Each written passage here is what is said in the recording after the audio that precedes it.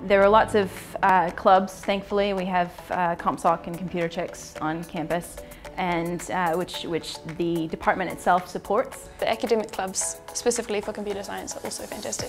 CompSoc runs a whole lot of tutorials that uh, you can show up. If you're a member, you get free pizza um, and ask all your dumb questions, so that's really nice.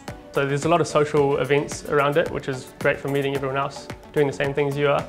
But also there's a lot of resources and things through it and talks which kind of help you and are an extra feature to your kind of computer science education. Computer Chicks is a more of a social club for girls. The degree is growing. There's a double or triple the number of people two or three years below us now.